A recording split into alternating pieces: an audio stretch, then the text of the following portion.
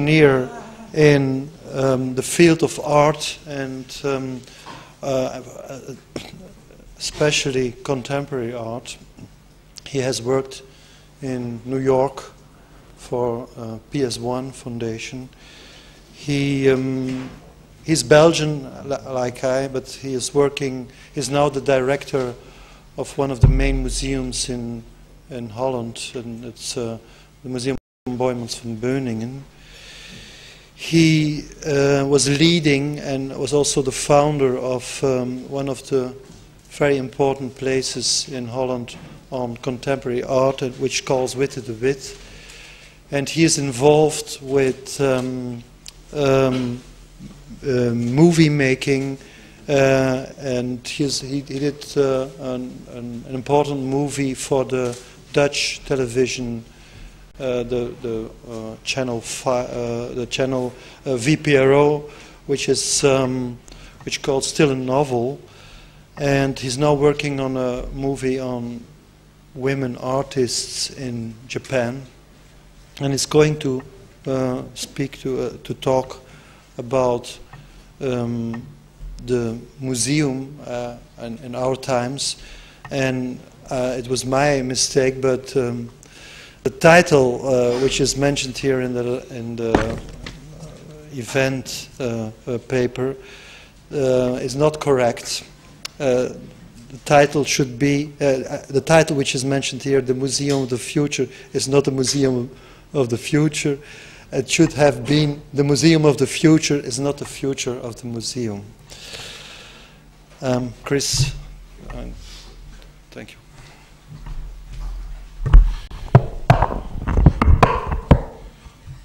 Thank you, uh, Paul, for that uh, introduction. I will uh, talk to you tonight about the Museum of the Future, or should I talk about the future of the museum? In any case, I've decided for myself that the Museum of the Future does not equal the future of the museum. And what I will do tonight is I will um, briefly sketch for you the current situation of three museums, which is the Museum of Modern Art in New York and the Centre Georges Pompidou in Paris, and comparing those two situations, uh, negotiations, in fact, between money makers and between architects and between curators and between artistic milieus, and I will compare those two situations briefly to the situation in my museum, which is the Museum Boijmans van Beuningen in Rotterdam. And then I will briefly sketch what the challenges are for those museums and any other museum, including, I believe, the new Tate.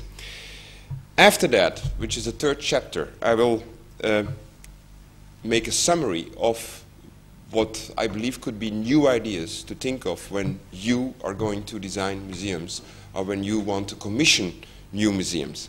And these three chapters will be illustrated randomly by slides. There are text slides, there are photographs, associations, juxtapositions. It's like a montage. And like John Cage used to say, sometimes it works, sometimes it doesn't. Um, at, at the end, I will briefly rerun the slides and then try to comment and improvise on these slides. And uh, maybe we, we have together some new ideas and come up with new ideas for the future of the museum or new ideas for the museum of the future. What is the meaning and what is the aim and what is the point of a museum's real or imaginary space? For I assume that we all still regard the museum as a real place for both art and the public. A place which still provides scope for imagination with regard to art and to the public.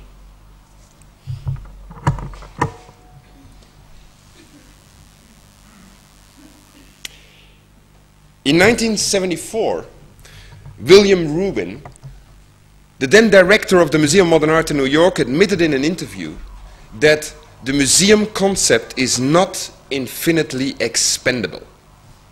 And Rubin ascribed this to the rupture between the traditional aesthetic categories of painting and sculpture and the earthworks and conceptual art that were all the rage in those days in the early 70s.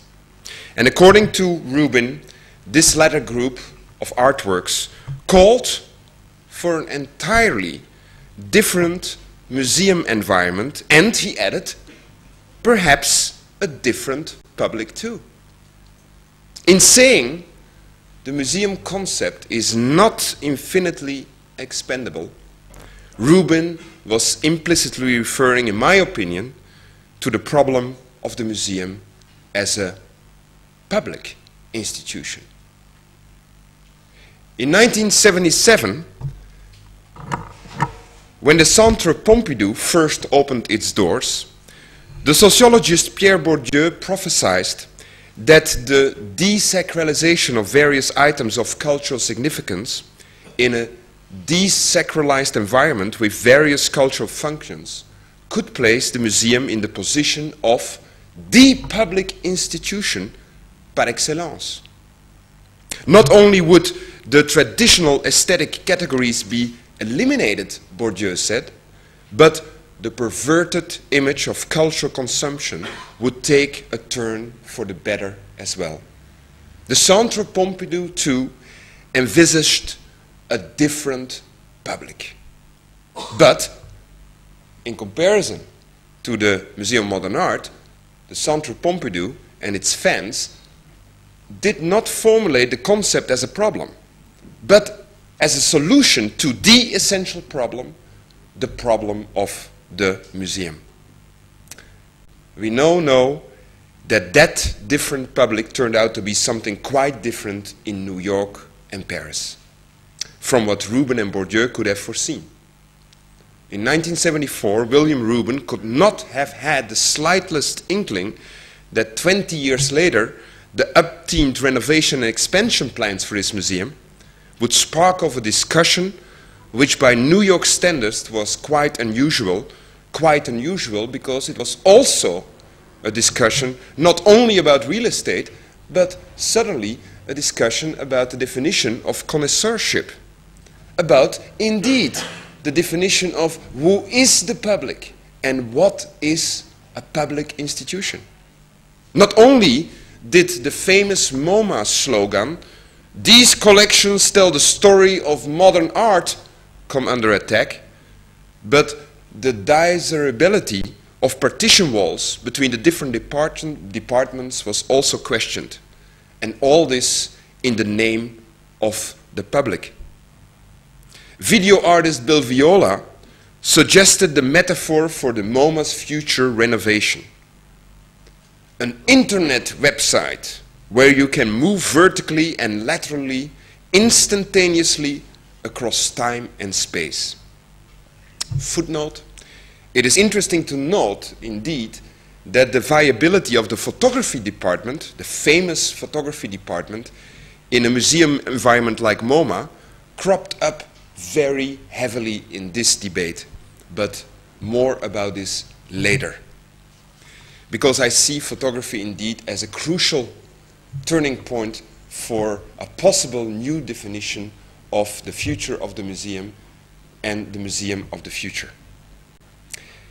In turn, and likewise, 20 years later, Bourdieu and other adherents to the Centre Pompidou were forced to realize that the democratization of high culture was very much a side issue, if not an illusion.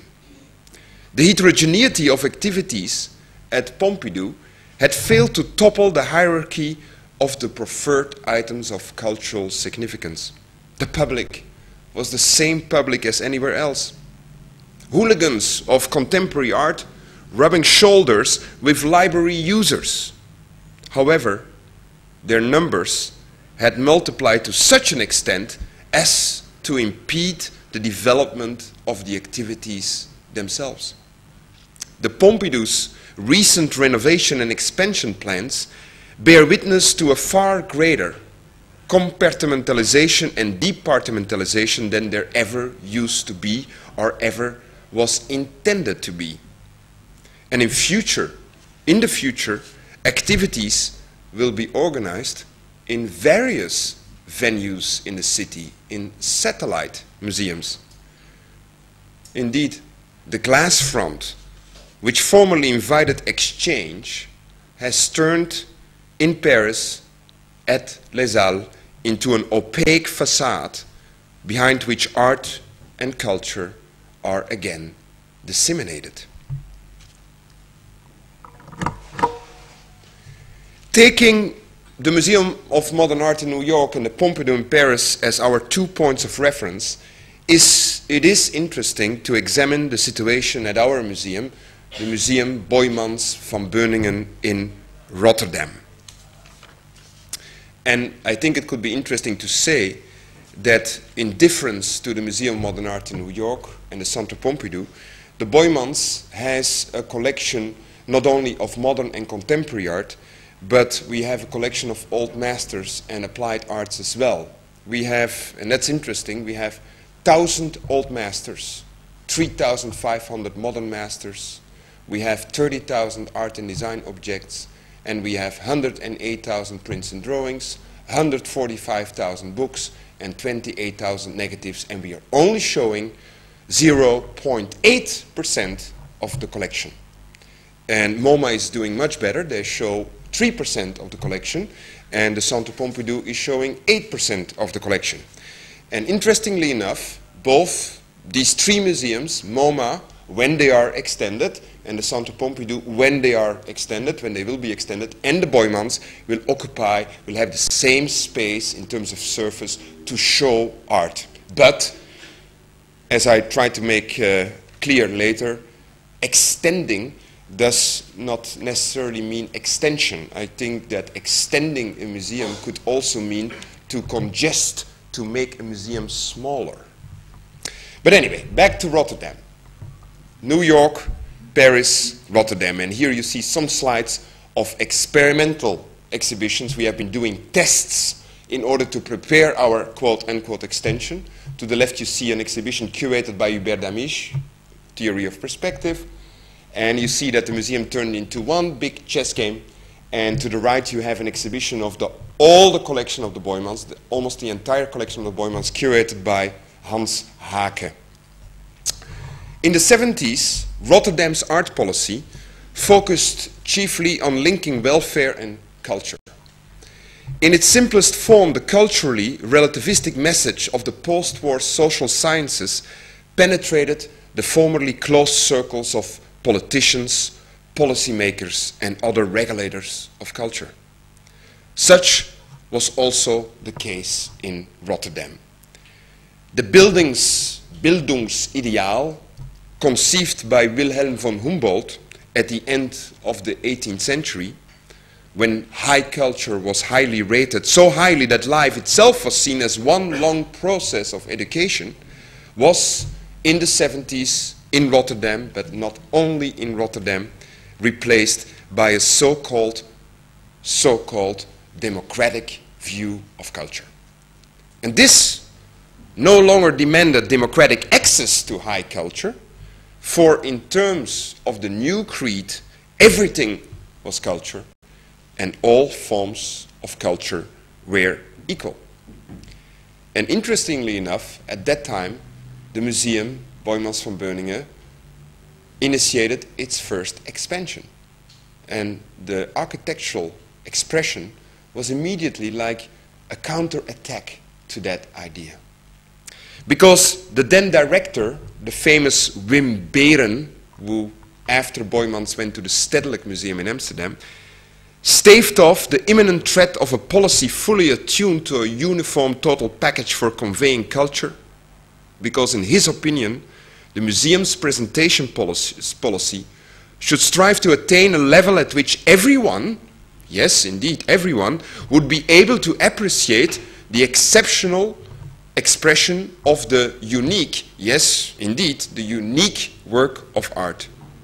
He called the work of art an authentic personal message, and he was looking for an authentic personal kind of architecture. Autonomy both in terms of art and as architecture as a strategy and as an emancipatory model. A strange combination. Because the poured concrete floor in the first floor galleries with whitewashed walls was soon the accepted aesthetic and social setting for this new approach.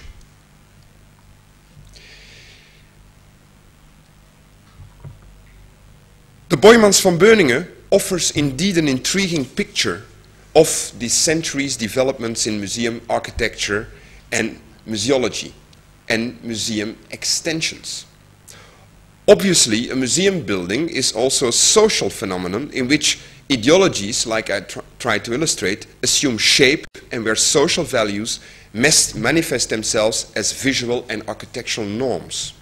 And the first step in the development was the so-called Van der Steur building in 1935, which referred to early typologies of museum architecture.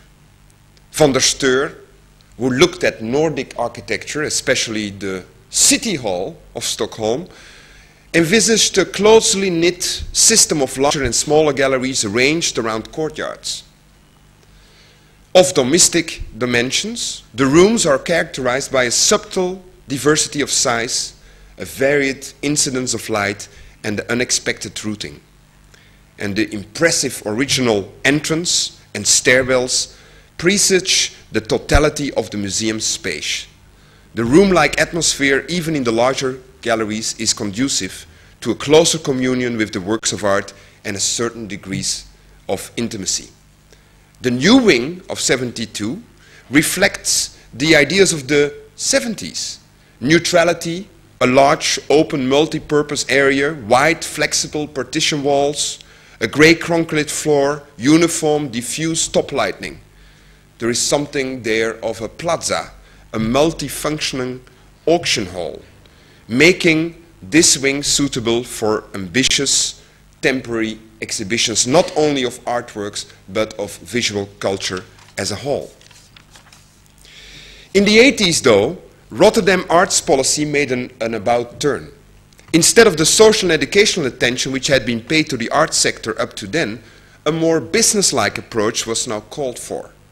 Art policy came to be regarded more and more in one line with Rotterdam's new planology and new planological ambitions and architectural ambitions as an instrument that would give the city a new elan and upgrade its image. And remember that the port was actually moved up 40 kilometers to the seashore and that we were rebuilding constantly and still are rebuilding Rotterdam. Culture as an excuse for investment on an awesome scale. And all this has furthered the downfall of the Bildungsideal and continues to do so because all these new event halls and extensions of museums, and I just named the Kunsthal designed by Rem Koolhaas and opened in 1990, all these incredible museums and cultural institutions are only able to attract 20% of, of the local population. So only 20% of the local population is coming to visit our museums. Indeed, all this has furthered the downfall of the Bildungsideal. The 80s saw the gradual emergence of the middle-of-the-road culture at the same time. Cultural legislation was supposed to blindfold itself, meaning that a regatta or a fashion show had about the same chance of being subsidized, typical Dutch, as museums had. And in his policy note of 1988, the then director, interestingly enough, not a, an art historian anymore, and a radical curator as Wim Beeren, but now a designer, namely one of the most important Dutch designers, Wim Crouwel, of total design, he expressed his concern that in this new situation, and in view of the general phenomenon of dwindling government support, the maintenance and improvement of quality of quality and the continuity, continuity of the museum's tasks were expected to require a more business-like approach. In addition, the works of art's autonomy was emphasized more strongly than under Beeren. The chief condition for conveying artistic values and insights for this designer, for designer Wim Crouwel and his staff, now being to create good conditions and a good context. It was not long before the work of art's autonomy was serving to gloss over the museum's loss of identity as a real and imaginary space. And the public was ushered into the museum past commercial enterprises, past a museum shop and past a museum restaurant. And again, a new expansion plan. And again, a new expression of architecture. Because our designer Crouwel commissioned Hubert Jan Henket a transparent, high-tech, sophisticated glass pavilion in 1991, built onto the garden site, and more particularly, the addition, like I just said, of a shop and a restaurant on the street right. Sparsely and efficiently designed, these spaces lack the distinctive future of a museum. The museum is negated, at least as a real and imaginary space. These rooms, these additions, might just as well be local branches of a bank.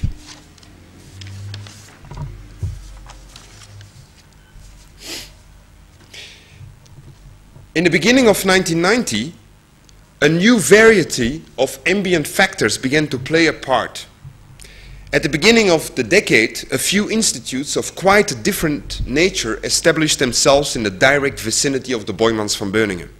De Witte de With Experimental Center for Contemporary Art in an old, refurbished, renovated school building, the Kunsthal and the museum park designed by Rem Koolhaas and OMA, the Netherlands Institute of Photography, again in a second-hand building, the V2 Experimental Center for New Media, and of course the Institute for Architecture, Dutch Institute for Architecture, designed by Jo Coenen.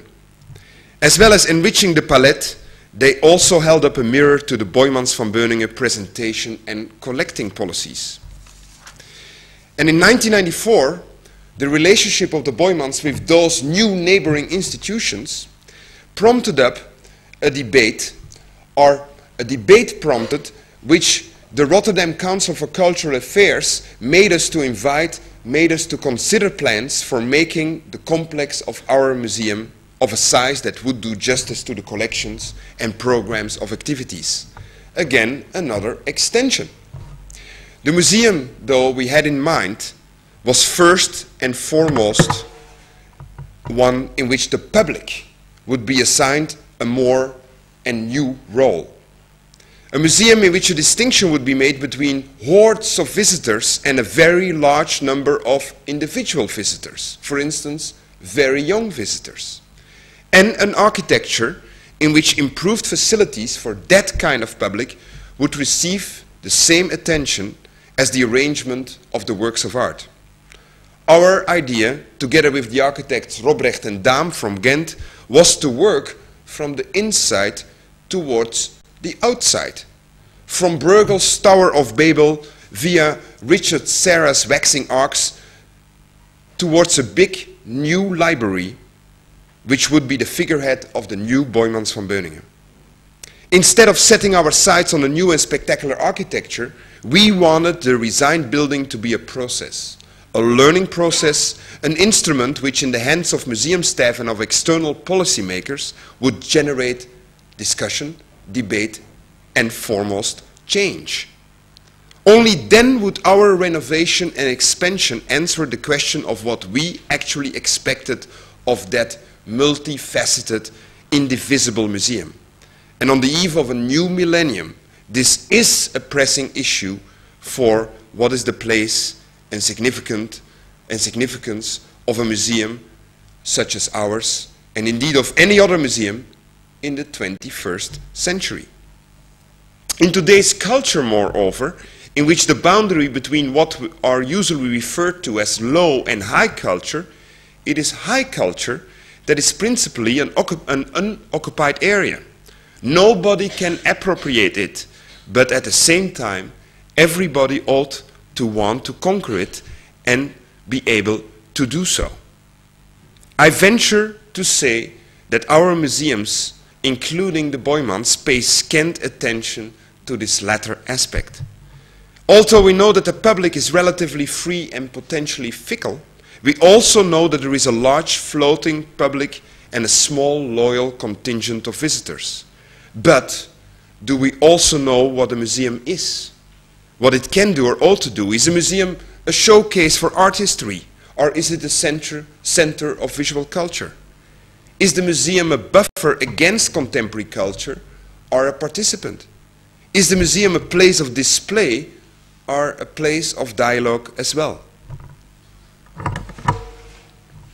I must choose my words very carefully now, for by now it has become indeed clear that progressive, as well as more conservative circles, are asking the same questions and coming up vehemently with the same answers. So vehemently indeed that representatives of both the left and the right quite often dismiss the rise and the fall of the avant-garde as an historical mistake. Good riddance to it, they say. But let us not forget that the rise and fall of the avant-garde merely reflect the fundamental change in the relationship between art and society. A change brought about by admitting the public into institutes of art. Prior to the period during which art became integrated into social life, there never had been a public for art and hence not for contemporary art either. From the historical point of view, the art public was a gradual phenomenon which since 1960 has grown explosively. And this is something we have to live with. Not even geniuses like Markus Lupertz can reverse that process. And there is something else. The layman, and not only the layman, makes little or no distinction between the many forms of art production, even if we disregard the most recent art, and the general visual culture that pervades our direct surroundings. Much art and many consumer goods are based on the same logic and the same construction of visual thinking. The museum then is no longer an a priori environment. Moreover, we have to come to realize that all the things to be found in the growing number of museums are merely fragments a small selection of a much larger whole. Every item in a museum space has become a specimen, a piece of evidence. And all this accounts for the huge success of the MOMAD exhibitions such as Vermeer and Jan Steen, and for the success of even more abstruse contemporary artists such as Bacon, Giacometti, and even Stella and Ellsworth Kelly. This is turning the real and imaginary space of the museum into a virtual space for both the works of art and the public. One might even go so far as to say that today the museum is partly a representation machine and partly a representation model in itself. A direct consequence of this is today's spectacular and above all photogenic museum architecture. In most museums, and this goes for museums of new and old architecture, of old and new, and new art alike, the temporal environment is gradually being abandoned in favor of architectural signals which prioritize an intense experience of the space. The museum and its objects are being cast further and further adrift from history, from time, from the presence of time, lost in an over-aestheticized space space, not to mention the magnificent spaces envisaged by artists like Lupertz when they turn their thoughts to a museum. And in this context, I would like to refer to a magnificent uh, book, which I think is magnificent, which just came out by Andrew Benjamin, and it's called Present Hope. And it talks about the new museum by Libeskind, the Jewish museum in Berlin, because Benjamin is somebody who doesn't talk about spaces. He's talking about the skin and the surface of museums and the relationship of the inside with the outside. And interestingly enough, he talks about the fact that a museum, in terms of its architectural expressions, should be incomplete in order to be able to complete. He says a building, a museum building, should question display while allowing for display. And I think he uh, is one of the most interesting thinkers in the sense that he transforms the debate about space into a debate about time. How can a museum and the architecture of a museum, even an extension, how can it express a different presence of time? Not in terms of a prospective memory, but about the present, about now. And I would like to say that those ideas are much more important than the so-called monographic hagiographic approaches. An approach, indeed, with emphasis on individual buildings and their photographic image. And this kind of approaches, they offer too little space as a context when considering the enormous increase in scale in architecture, town planning and landscape, uh, landscape development. The architecture of museum buildings, along the embodiment of solely cultural values, so-called culture values, is losing its pioneering role in organizing programs and structures. Other disciplines, from landscape architecture to economic management, time management, information management, have acquired a reeling role on the stage, much more important than to define museum space. The flashy image as icon of a popular museum architecture is slowly losing ground. A, a last example, I think, being Bilbao, the Guggenheim Bilbao, designed by Frank Gehry. Initiatives for formal innovation are fertilized less and less by a need for public representation and increasingly motivated by changes in the museological processes themselves and through anticipation, indeed, of a very uncertain, uncertain future. Summing up, and an expression of this uncertain future could be the museum's public accessibility. The public is the uncertain future of the museum. And every, every museum which we are going to extend our design should take that into account, an uncertain future because of public accessibility. Not because of the many artworks we have and we cannot show. That's bullshit. I mean, there is no more silly reason and a priori condition for building a new museum because there are too many artworks. I think we have to concentrate on the museum's public accessibility and the uncertain future of the museum because of that public accessibility. Because this public accessibility is responsible for the fact that the museum is no longer an a priori environment. Accessibility has also played a part in turning the museum, like I have tried to show, a virtual space and a representation machine, in which the space is often experienced instead of time, instead of history.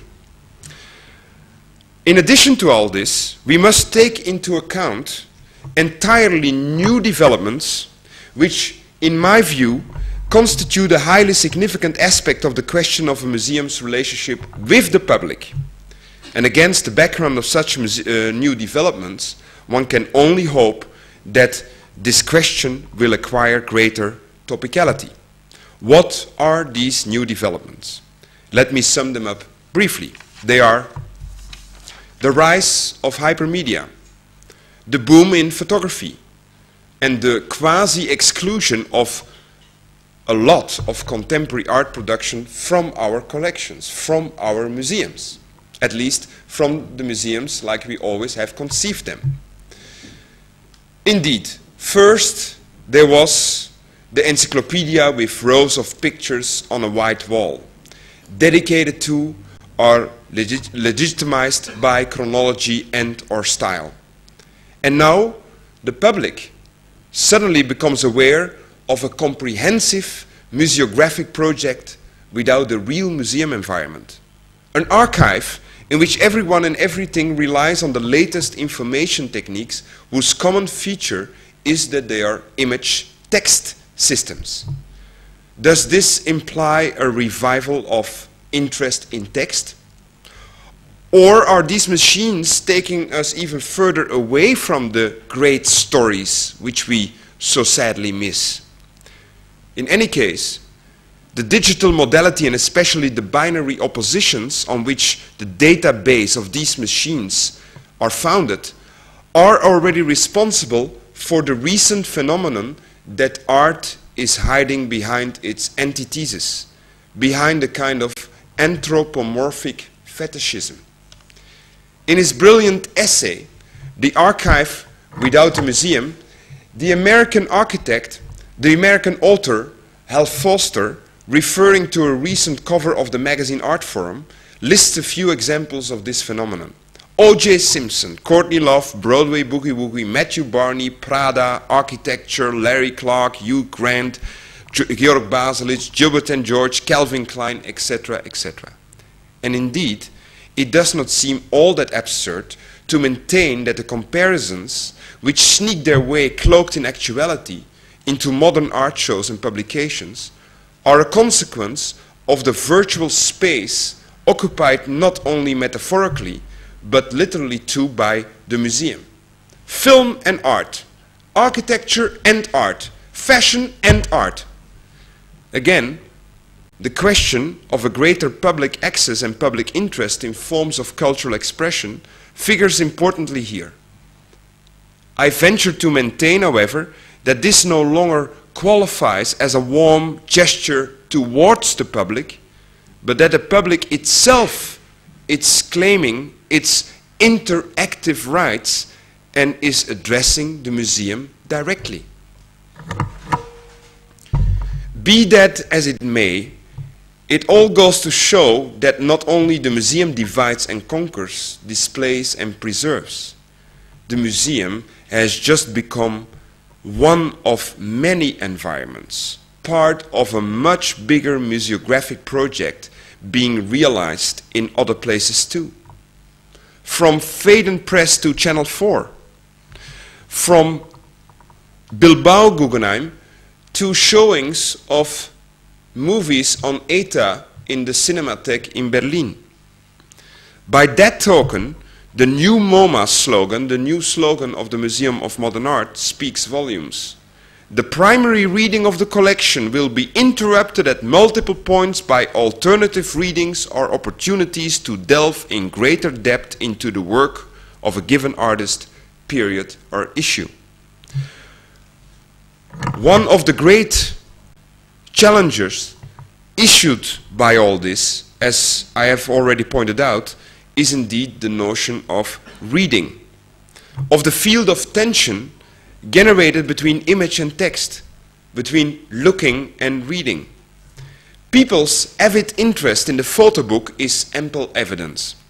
Exhibitions devoted to artists like Cindy Sherman or Jeff Wall seem to become pilots or advertisement campaigns for some publication or other of their works. The illustrations trans transcending the character of the reproduction. The exhibitions and the exhibits call to mind enlargements and reproductions of the objects in the book.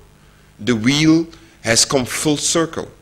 For are not the discipline of art history and in a sense the museum too photography's children? The museum indeed no longer presents itself as a real imagery and visual space, but also as a photographic, cinematographic space. Have any of you visited a museum lately in which one or more rooms were not darkened? Visual culture then, is visual culture then only a surrogate for a retooled modernism, a revised art history, a redesigned museum? Or is it a placeholder for new formations not yet defined? What will its institutional arrangements be? One thing is certain. Not only has modernist art fallen into ruins, but art history departments and modern art museums are in flames, and the inferno is not only epistemological. Current interest in photography, cinematography, characteristic for many museums, and the problems they are experiencing highlights the issue of whether we still know what a museum is. I therefore regard the debate on the role of photography in the museum as crucial for all deliberations about the museum's future and its relations with the public. If we are to believe Walter Benjamin, photography is supposed to have put paid to the exhibition effect.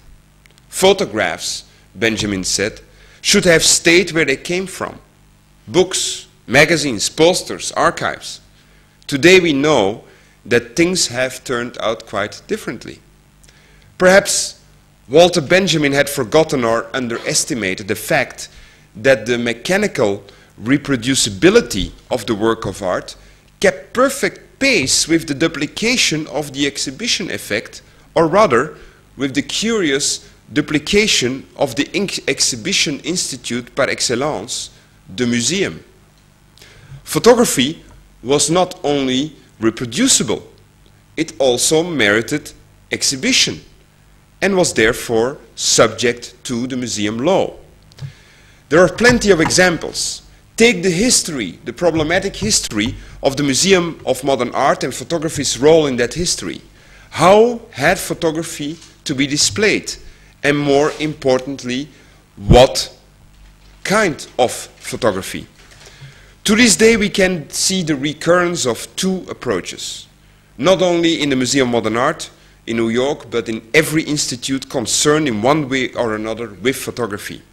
The one proclaims the technical and historical specifics of the medium, thereby investing it with an inclusive status, and the other strips photography of all specificity, entering it in the long roll call of fine arts and vaunting its undefined and unverifiable exclusivity.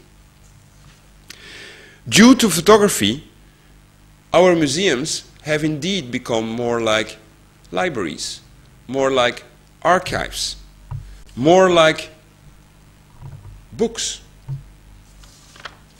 With regard to this last point, confusion abounds, because it seems that a museum often houses many, many more photographs than it ever will realize.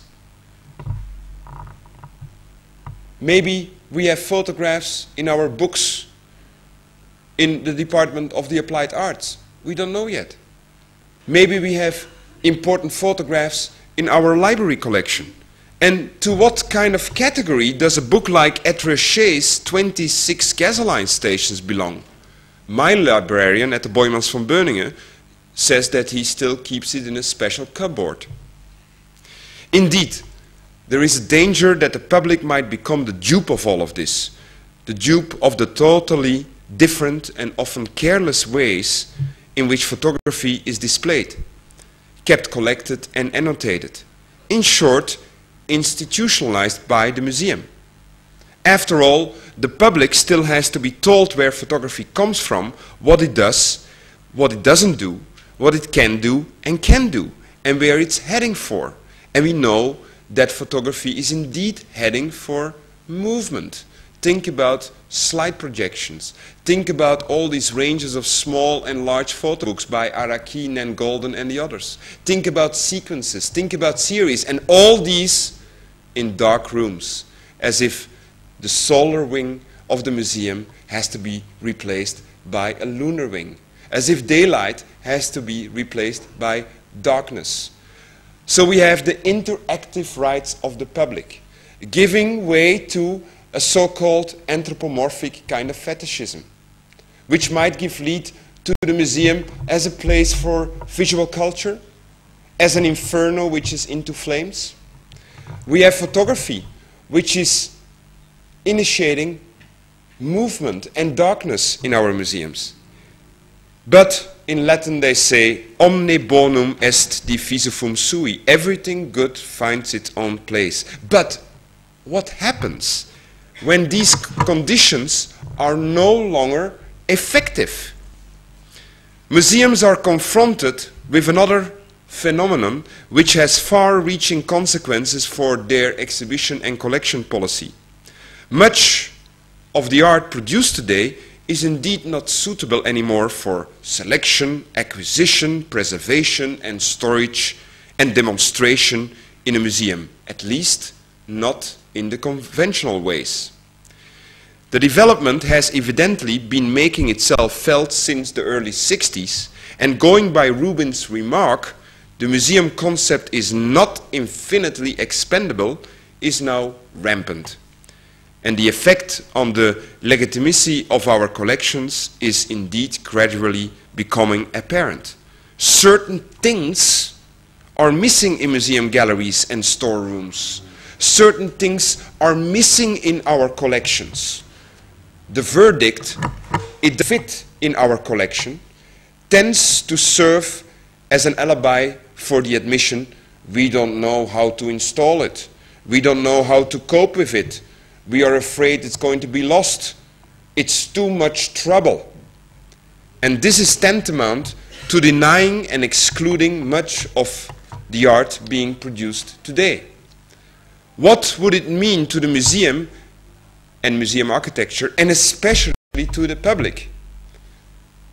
If the term easy to preserve were replaced by hard to reconstruct, as has been the case for hundreds of years in theaters, opera houses and concert halls. Discussions about play and replay, and hence about an archive status and accessibility, again accessibility, are rarely heard in museum circles even though countless museums are being rebuilt and enlarged every day. So let's draw a quick list of possibilities for a new kind of museum architecture and you have seen some good and bad examples and we will come to that later.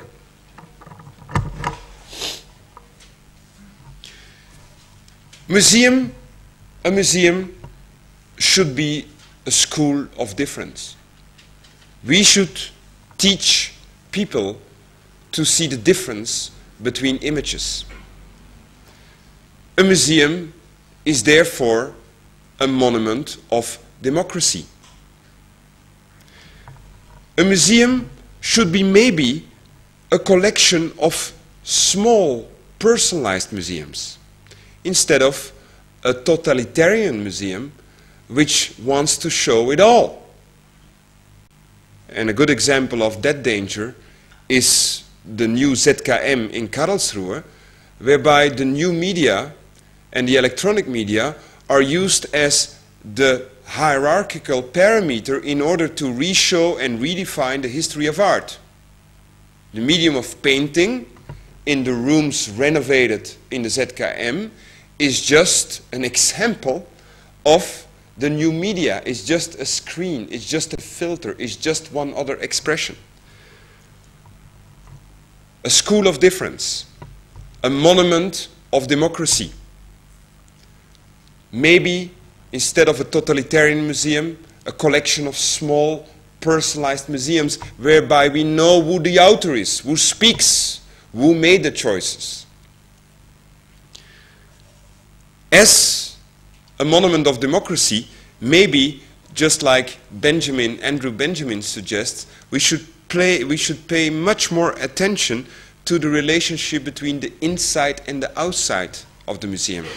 And therefore, to the skin of the museum, to the surface. What is the skin of the museum? What is the surface of the museum? We should maybe indeed strive for incompleteness. We should make it the curators difficult we should indeed try to strive for an architecture which makes us to reinvent each time the space of an exhibition, which makes us invent each time how to curate an exhibition instead of putting the paintings up like stamps against a white wall or given partition walls. Incompleteness, in order to complete a museum space, is different from partitioning a museum space. I'm just giving some I don't want to develop these thoughts. It's just a summary. I mean, some people have developed it. A museum is maybe only a temporary project. It's maybe like Catherine David said at the time of the Documenta, just a manifestation culturelle. A museum should maybe not permanent. Why would you like to go to the South Bank? Maybe in 10 years you have to put up a museum in Brixton. Maybe we have to conceive museums we can chain after 10 years, we put the museum there in a different community. Maybe a museum will become just an archive, a personalized archive, whereby the needs of the individual and techniques in order to serve the individual become more important than to serve the collective. Maybe indeed we should make no difference anymore between the museum as a place to host works of art and a museum as another form of decoration. Maybe a museum is the public art form by excellence, and therefore we should allow maybe architectural images next to tectonical images and so-called autonomous art images. Maybe the museum is just a place, just a topos, where there are no artworks, and whereby the presence of the public or of individuals is reformulating each time the usage of that building over and over again, day by day. Maybe indeed extending a museum could mean that we make a museum smaller, that we congest its possibilities. Maybe a museum is part of planology instead of museology.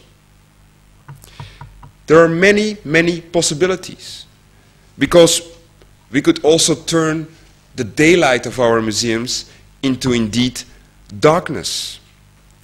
I think it's much more interesting to concentrate on these questions for the future because this is not the museum of the future, but the future of the museum. And now we're going to look back at some slides again. Can we start from the beginning? First slide.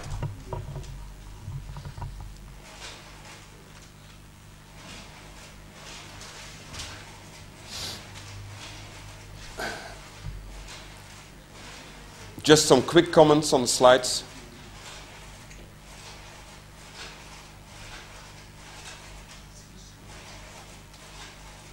That's it. For, in sync, please. This was uh, a quote used by uh, uh, Rem Koolhaas and OMA in their charrette for the extension of MoMA. You can be a museum or can be modern, but you can be both, by Gertrude Stein. And next to that, I present uh, a problematic installation in our museum, that beautiful building of 1935, and look what we have to collect these days. Uh, a work by a Korean artist, fantastic artist, and uh, you can be a museum or you can be modern, but you can be both. Um, I think the tension between the two is fantastic. I mean, these kind of things are often lacking in our collections because we don't know how to buy them, how to acquire them, how to store them, how to keep them. We don't know how to restore them. We don't know how to reconstruct them. And that's what I meant by play and replay the museum like an opera house. You can be a museum or can be modern, but you can be both. You can be a museum or an opera house, maybe. Maybe that's the answer. Next slide, please. And this is then uh, the making of the modern, modern, how very rash, an article by Herbert Muschamp, talking about uh, the charrette of Rem Koolhaas, who of course has lost it because he was uh, quite vehement about asking new questions to the Museum of Modern Art itself, whereby the role of photography for Koolhaas was an essential role, near next to the role of the public, what the public was going to do with that building and in that building. And this is one of the definitions he uh, put up. The notion of the museum seems at the brink of a quantum leap. The very success of the museum as an institution, a pivotal center of contemporary society, threatens to engulf its primary function, the organized contemplation of art. A new conceptual framework must incorporate the additional roles and expectations that the museum has recently acquired.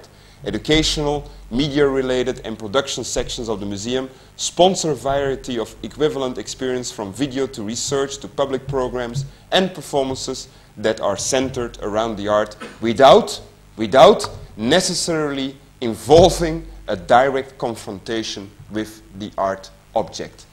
The museum as a library, the museum as an archive. In any case, the museum as a chance for an individual in order to consult many different things. Next slide, please. And also the Centre Pompidou, of course, is renovating uh, its spaces.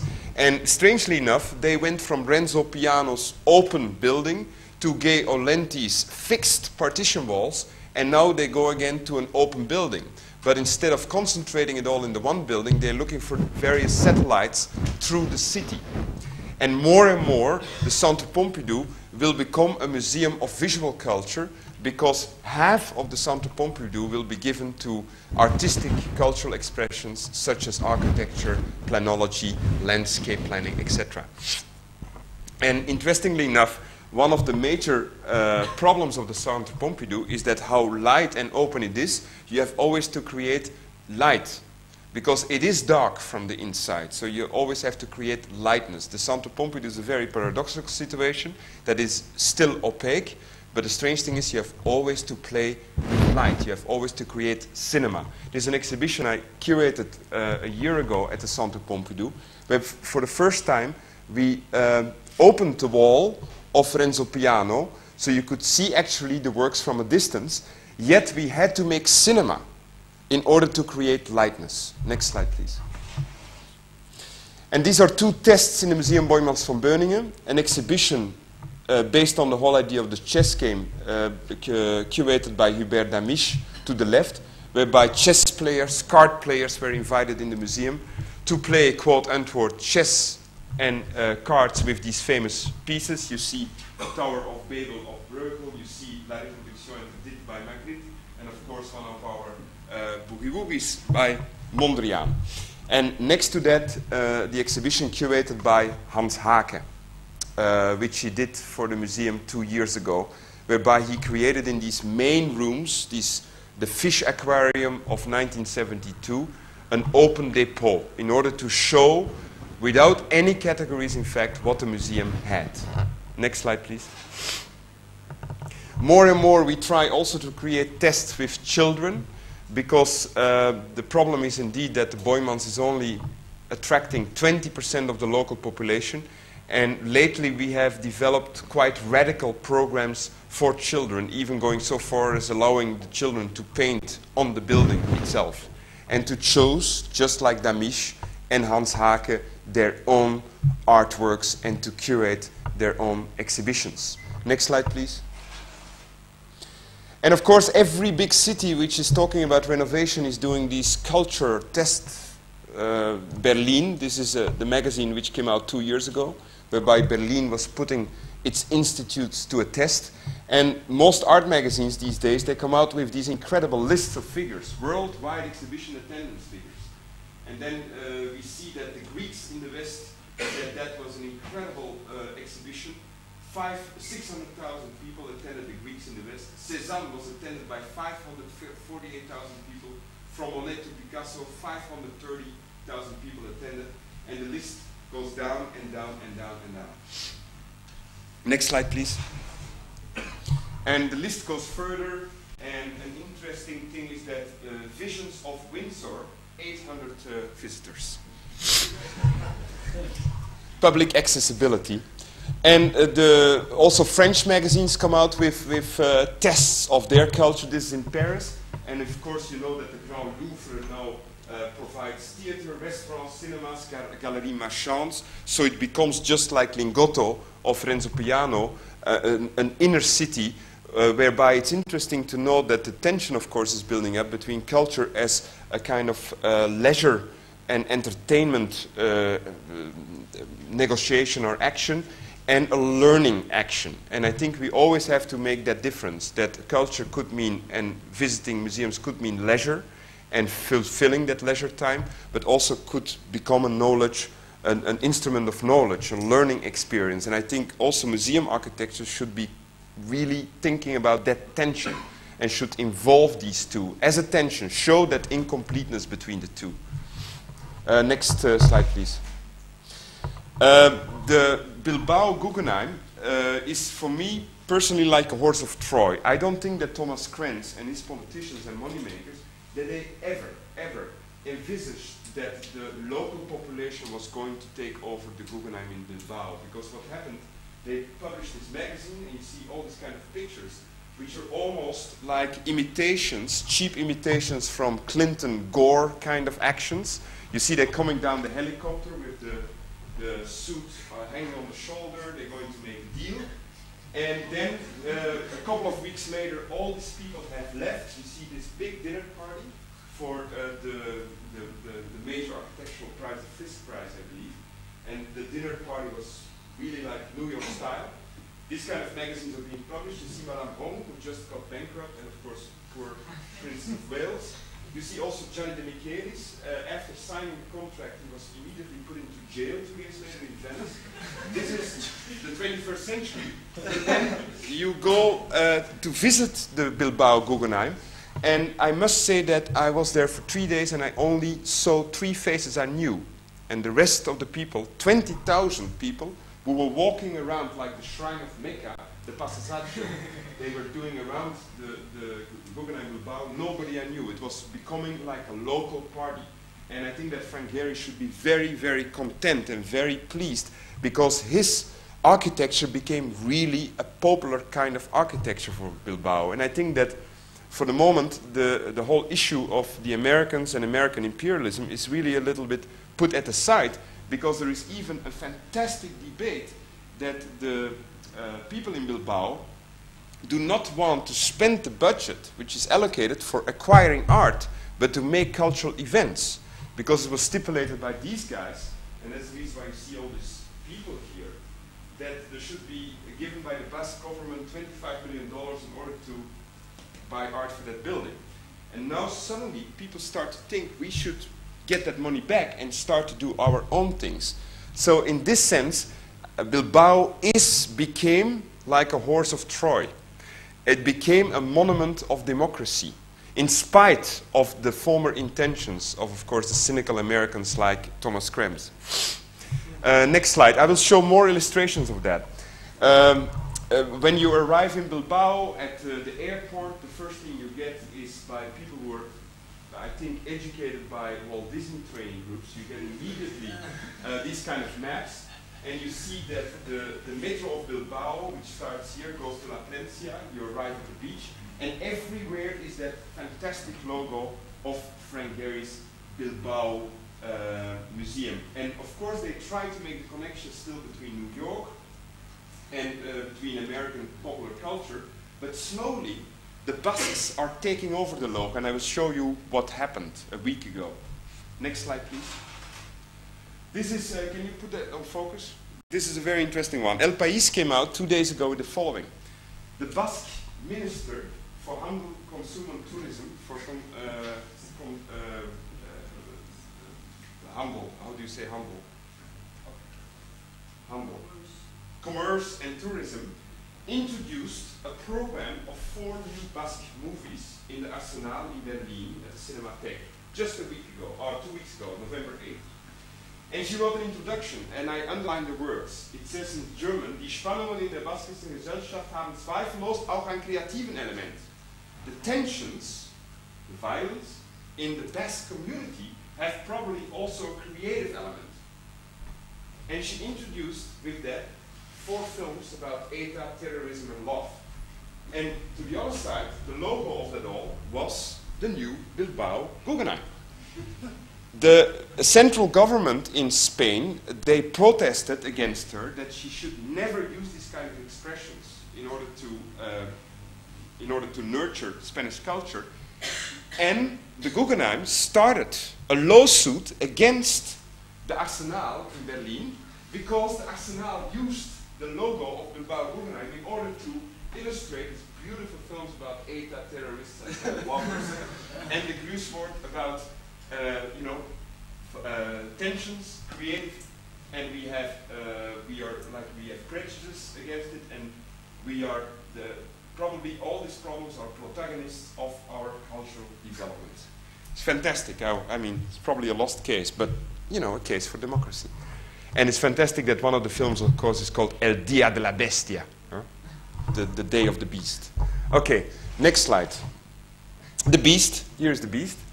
Uh, what's of course very beautiful that, that the Serra is made for the building and the building is made for the Serra. And you can, I don't think, discuss anymore if this is decoration or not. This is decorative. This is like Tiepolo in the churches of Venice. And why should it not be decorative? And uh, I want to uh, show you, of course, the labyrinthic qualities of Frank Gehry, because then uh, you have to look at some floor plans, which I'm going to show later, because you know that floor plans for a museum are very conservative. I mean, you have these kind of cabinet structures where you can walk in a kind of chronological way. You walk from 1450 until 1800. You have these incredible white walls whereby paintings stylistically are put like stamps against the wall. And that's what's given to architects all the time. I mean, how can you create architecture with that kind of stuff? And that's what curators want.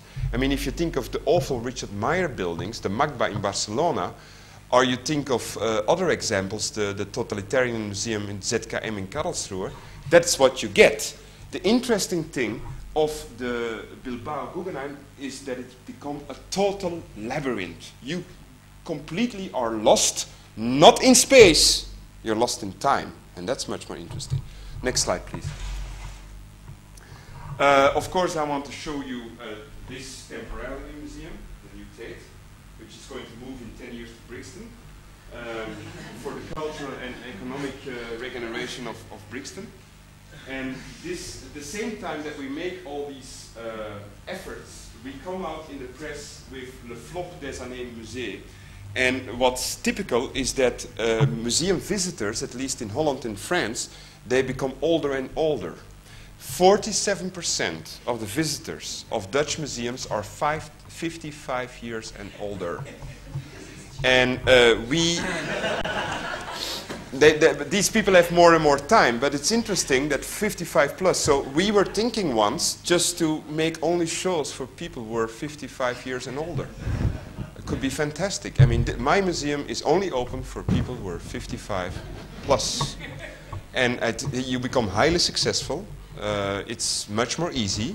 Uh, it's like easy to define. They also want to have coffee.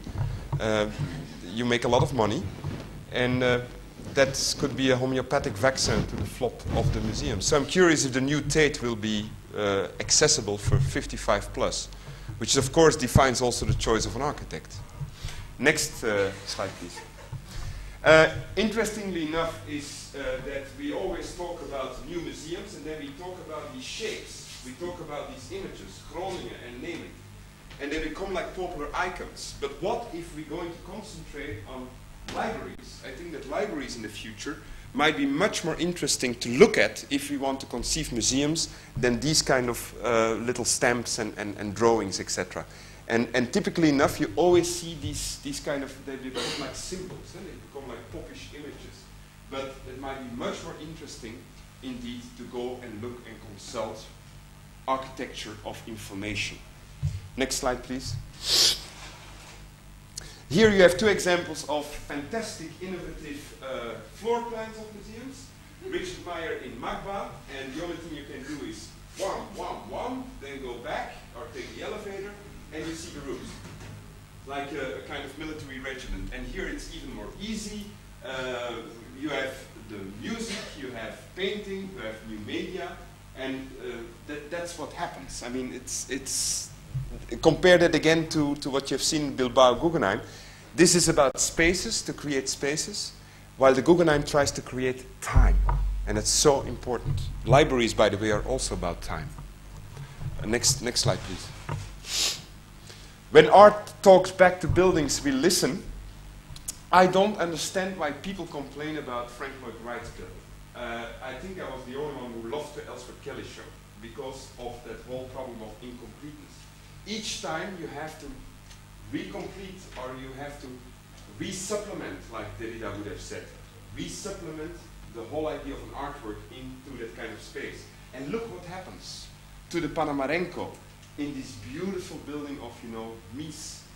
Look what happens to the work of Kolbe. It's also a work of supplementation. Each time you have to work against and with the building.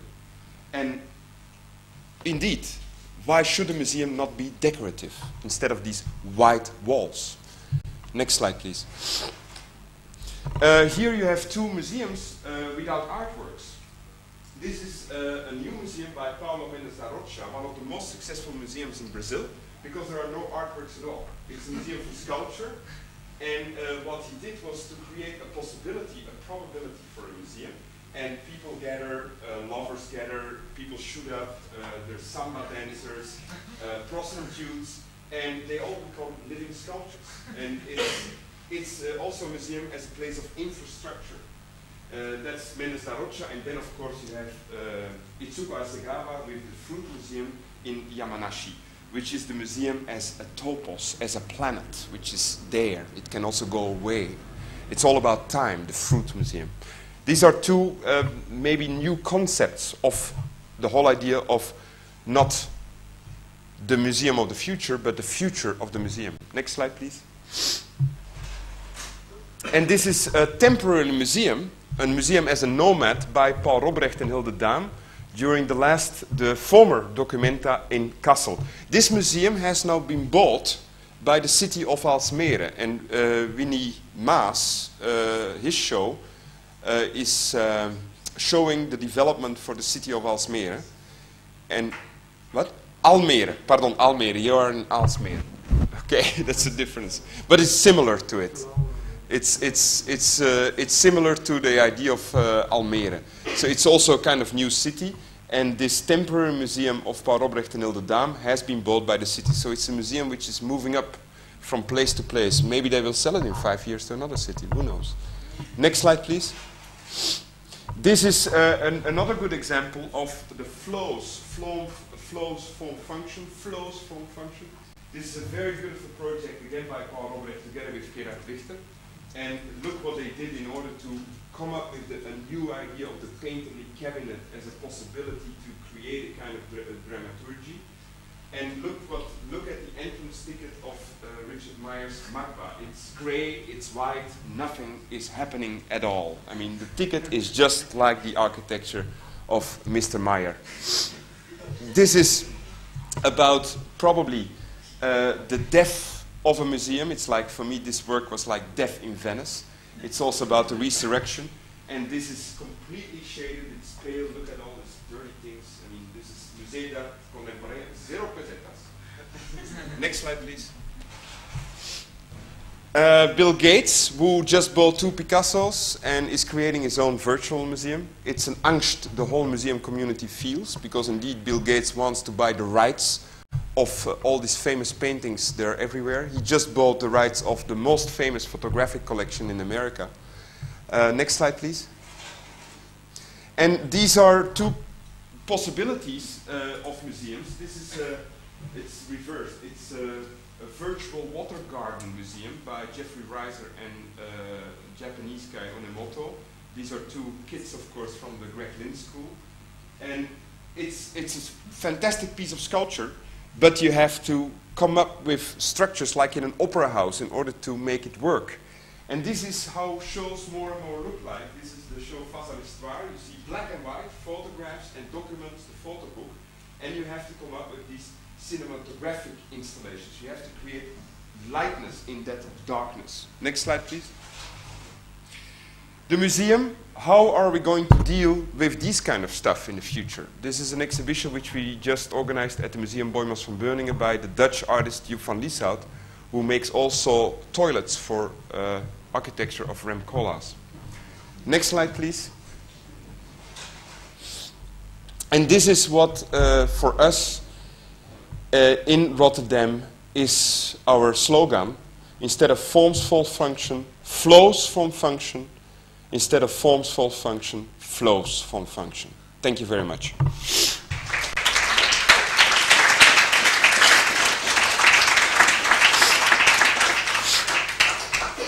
So are there any questions or yeah? Yes.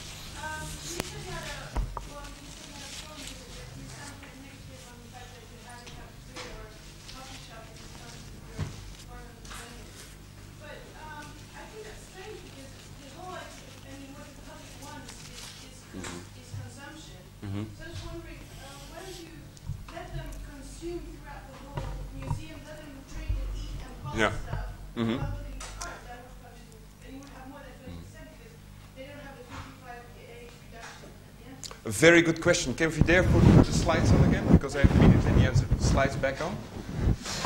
I show you something.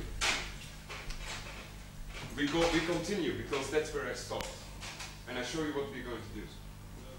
So if you could put them back on. I didn't say I did, uh, what. First, uh, let me introduce the, the problem. Uh, right now, the main entrance of the museum boy must be continue very far.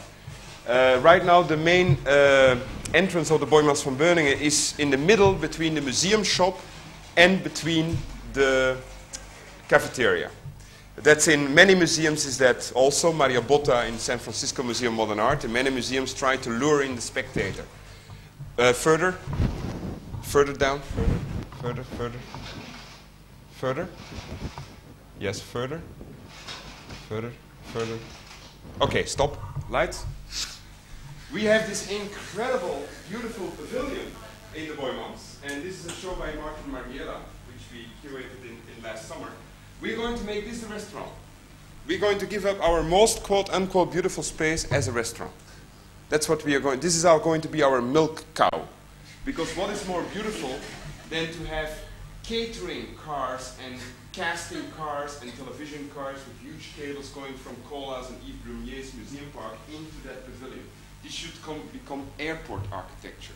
And uh, that sounds very cynical. We're going to make this into a thematical restaurant because this pavilion houses applied arts, the history of food and drinks. And we are going to make from that pavilion the best visited restaurant of Rotterdam, the chicest restaurant of Rotterdam, where you can organize a wedding party and a reception. So that's what we do. But you, can walk through the architecture? Absolutely. No, no, no, no. can we go back uh, to the to the first slide? Uh, sorry, to the two slides before that. Stop. This is the Boijmans in 35. You see these courtyards with cabinets van der Steur, of course, a copy of the Stockholm City Hall. And then in 72, the answer to it all, to the situation, was to add it like an aquarium, kind of Mies van der Rohe, kind of uh, second-hand Mies van der Rohe kind of building. Second-hand National Gallery. And uh, white walls, designer dresses, and completely open space uh, with artworks and stamps on the wall. And this was uh, then in 1991, next slide. This is the interior of that beautiful building of Van der Steur, the feeling of cabinets, and this is of course the feeling of that aquarium. This is again the show of Hans Haacke. Next slide, please. And then in 1991, the high-tech, sophisticated, quasi-democratic glass pavilion in order to show design, barely usable because of the contre-jour, because of the dimensions lost in space. Every time we had to invite architects to, to design the shows in there because it was completely unusable, and that's why we turn it now into a restaurant. And this was the situation into which Paul Robbrecht and Hilde Daem came. How to extend the Museum Boijmans van Beuningen in order to make it more attractive for the public, in order to make it smaller, in order to give it the feeling of indeed a space, and a space in time and time in space in, instead of just a series of buildings. Next slide, please. Besides that, suddenly we were surrounded by these other museums, the Kunsthal by Koolhaas and the Architectural Institute by Jo. Next slide, please. And of course, another thing was we had to renovate the museum because guess what this situation is right now? There are offices underneath this beautiful terrace. We want to redo that and we want again to make this into sculpture. Second thing is that we wanted the museum the, to make it more interesting for the public, for different uses. The restaurant, chess playing. We wanted also the public to stay longer at the museum, and we wanted the public, and we want the public to come more often, once every two weeks, once a week, instead of just visiting an exhibition. Next slide, please. So, interestingly enough, we asked the architect to come up with different solutions. And these different solutions, I think they show very, very well the dilemma. The first idea was maybe let's put another aquarium next to it, another block, and see what we're going to do. Much more white walls. Impossible because then we had to destroy this beautiful street side. Second idea was let's put then let's extend this aquarium with another aquarium and indeed make more walls, more space. Impossible because of plano planological laws in Rotterdam. A third alternative was to connect these buildings with a huge area in between the old ones buildings and these buildings for office space. And more and more we came to the conclusion that it was not necessary to create more square meters, but it was it became necessary by adding something to it to restudy the whole museum and all the functions of the museum. And that was quite brilliantly done by Robbrecht, because by doing this, he connected the museum suddenly again to the street and to the inner city. The library will come here, and here will be a huge glass promenade in which the public can see from the streets already the sculpture. So suddenly the museum is connected with the city, which was not before. And by doing this, adding this to this part of the building, the museum becomes really a wing of different courtyards. This courtyard, this courtyard, and this courtyard, the Bodon wing. So by, I'm not going to, into the details, but by just adding a small piece of new architecture, the whole museum's, the whole museum concept becomes something different, both for the work of art and for the public. In fact, this is a good example of congestion. I mean, that was the critique. You're going to use so much money in order to do just this? Come on, give me a break. So still, we, you know, we were very stubborn, and uh, now it's going to succeed. So here will become the restaurant. And the main entrance will be instead of here beside the museum shop and at the brasserie, the museum restaurant, the main entrance will be here.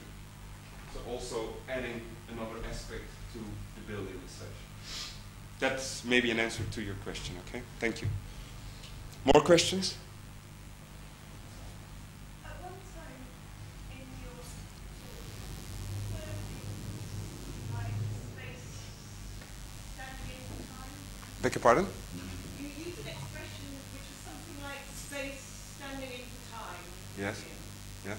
Rings a bell with you? Um, what I try to say is that I think that time is more important than the quality of museum spaces. Quality of time in a museum is more important than the quality of space. Or the expression of space is for me less interesting than the expression of time, different kinds of time. Right. I think that's That's what I wanted, yeah. You then, in talking about um, in living time, seem to be talking rather about dissolving time or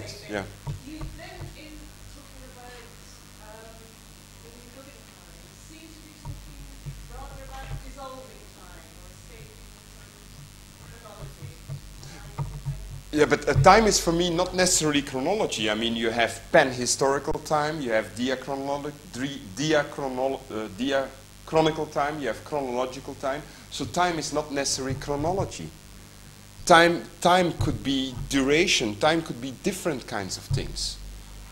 So, I mean, it does not necessarily mean chronology. No, absolutely not. So you would say, I mean, I haven't seen it, but you would say that the Bill Road, Guggenheim, still maintains some kind of consciousness of time. Yes, it's, it's the time of the visitor, it's the presence of the visitor. The, the, the visitor has to make his own time, literally.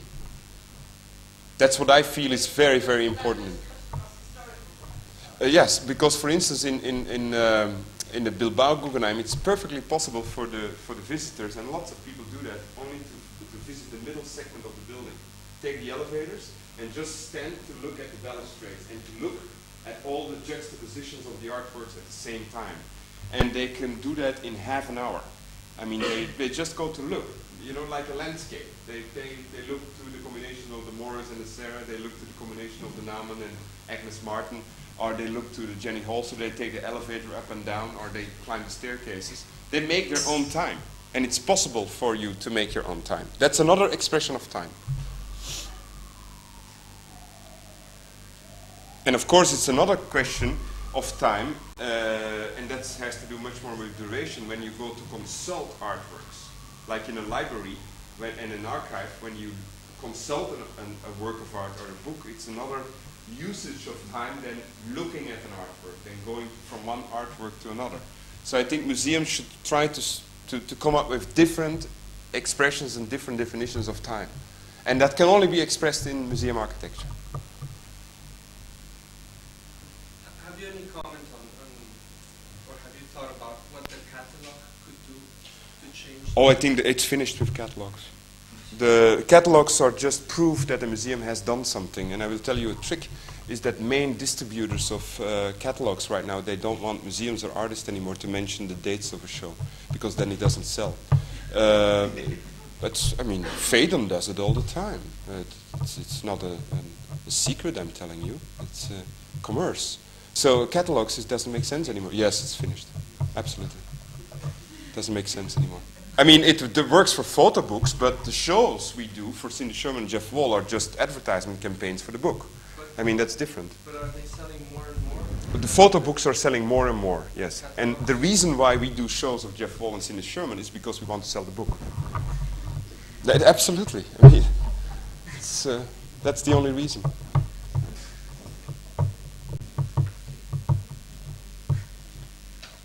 It, I'm not cynical. I mean, I'm talking about reality. Ask Nick Serota. Yes.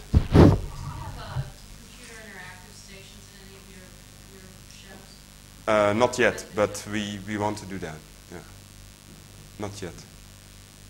It's, uh, one of the ideas would be, for instance, to you know, put plasma screens and, and that people can ask for more works than are just being seen in the museum. One of the most interesting uh, interactive systems is right now in France, which is called Le Video Musée.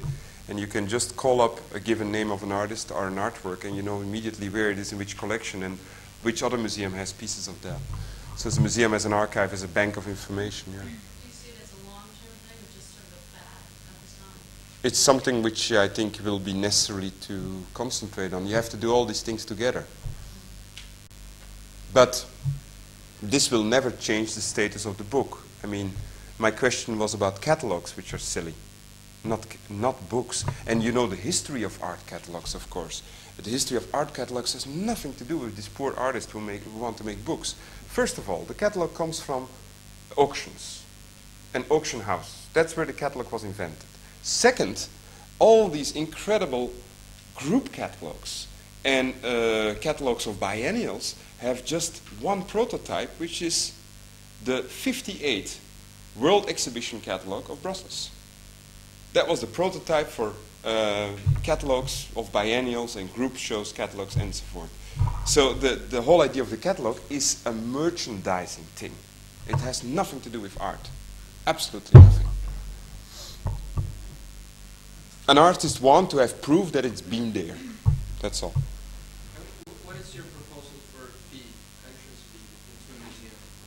Entrance fee? I mean, uh, if, if we could make it free, but it's impossible. But if we could to make it free, yes. But that's, that's impossible.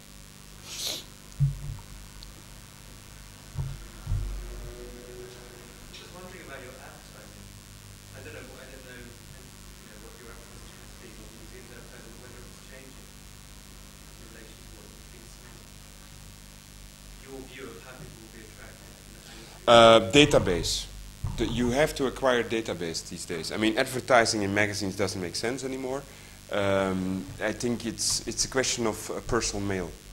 And I just want to tell you a little anecdote, uh, which is um, a couple of days ago, I met a manager of KLM Northwest. And I asked him why he was so generous with the gay games in Amsterdam.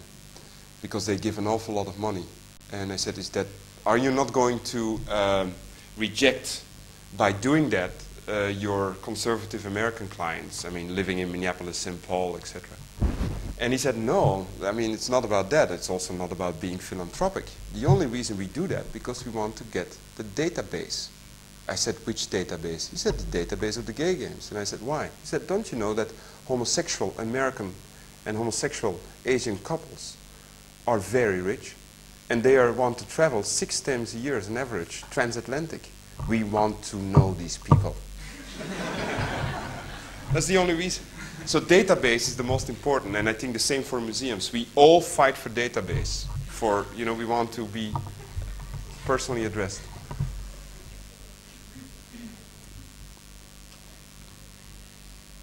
My God, museums and database. Huh? no, it's it's it's mail. Advertisement doesn't help anymore. We spend a lot of attention on mail. Addressing the individual user. Where do you see the other media, such as video, film, for people in their homes who will not get up and go, but will sit in front of the tube. Uh, how do you see museum working that way? In museums, we use for the moment every single medium. I mean, the darker uh, and brightener the medium is, we will use it. I mean, all the museums are turning itself into dark spaces anyway. Photography becomes a medium which is involving more and more projection and movement. Um, so all these mediums are very, very necessary, all these media. I mean, videos, cinematography. Um, so I, I see it as a normal, normal kind of thing. It's very problematic because indeed the museum will become something like an opera house. I mean, you have to, it will be problematic for the public as well uh, to attend five films of uh, 35 minutes. Uh, right now, it's, uh, it's already an, an issue of what are we going to do in these dark rooms? Making carpets on the ground, acoustic walls, do we have to provide benches? Uh, how are people going to look at five films by Bill Viola and Gary Hill one after another? It's absolutely impossible, and that has become a problem with entrance fees. I mean, we cannot ask uh, a daily entrance fee for somebody who wants to see a Gary Hill film of 60 minutes that day and the next day for that day. So that will, the whole thing about media and artists using media will upset the whole scene. But, of course, it doesn't mean that it will continue. Because maybe in two years artists will stop using film and stop uh, using uh, slide projectors. You never know. What about going into the home, I guess is where my question Mhm. is. In the United States, there are a number of people looking at actually taking shows, Mhm. Gordon Brown being Mhm. one of them, to starting a cable network that will take Mm-hmm. to the people in their home. Have have you thought about that? Yes, again, I think you should do both. But uh, that's the reason why museums uh, become more like ambiences, like environments where it's good to be, uh, whether on an individual basis or on a collective basis. And that's the reason why we need to provide restaurants and museum shops. And we need to provide print and drawing rooms where you can consult the real stuff. But you have to create, like, indeed, a small inner city where it's good to be. That's, that's, that's the most important thing. That you want to go to a museum in order to meet people, in order to be there. Um, it's like a, a kind of infotainment.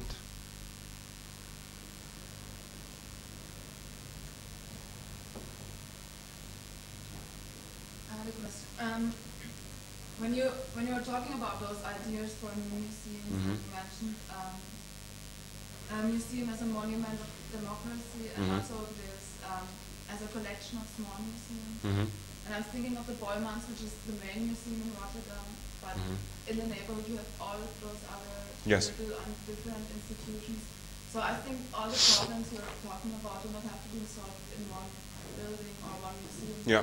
So how do you relate the Boijmans to the other institutions in Rotterdam and the collaboration that might take place? The, the, the Kunsthal, I think, is, uh, is a building which is, in the first place, a public building. The, the way Koolhaas conceived this building is magnificent because it, it, sh- it shows all these questions of display while allowing for display. But the first thing, which is, I think, the most important for, for uh, the Kunsthal, is this confrontation of the public with itself. The way you walk through the Kunsthal is a very interesting way of confrontation because it's a way of uh, looking at exhibitions and, look, and being in museums is not only looking but also be looked at.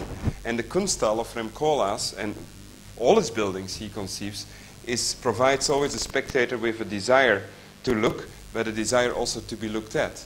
And you want to walk through the Kunsthal. It's like a public forum. It's like an agora. So for me, the Kunsthal is like a place in the first for the public, and then second works of art. The Boijmans should be first, I think, works of art, and then the public. And the difference between the Kunsthal and the Boijmans is that the, the Kunsthal is a place for culture as entertainment, but in the positive sense, while I think the Boijmans then should provide culture as an instrument for knowledge, as a pedagogical instrument. And because we have all these specialists around us, V2, Experimental for New Media, the Photo Institute, Witte de With Center for Contemporary Art, Architectural Institute, private museums, it means that the Boijmans should become even something else than just a collection. And just a collection, I mean we should be able to work with that collection. Because we have a collection which the other buildings do not have, so we should invent over and over again new ways to work with the collection. That's the second one. Third one is that because of all the satellites around us and all the neighboring institutes, we should indeed ask uh, so-called anthropomorphic questions like uh, visual arts and architecture, uh, film and architecture, because that's also a way of responding to the needs, to the interactive rights of the public. And we can do that because of the NIE in front of us and V2 and the Photo Institute. It's very easy to do that. For instance, when uh, the NIE, the Architectural Institute, is doing a retrospective of Itsuko Hasegawa, we have invited Hasegawa to make a real piece of architecture in order to show Berber ceramics. So that, you know, that, that's a way of working together. But I don't believe in festivals. I don't believe in the whole idea of the cultural agenda, whereby all these programs uh, in a city are formed or transformed by an agenda which is uh, saying in the month of May we have this festival, in the month of September we have this festival, so we have to create like of we have to perform on a kind of thematic level. I don't believe that. But that's uh, last question. Thank you very much.